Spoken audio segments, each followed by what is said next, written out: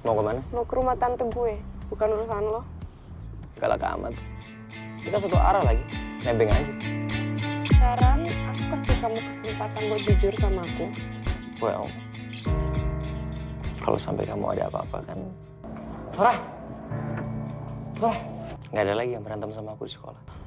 Lo sinting ya? Hey, hey, wait, wait, wait, wait. wait, wait.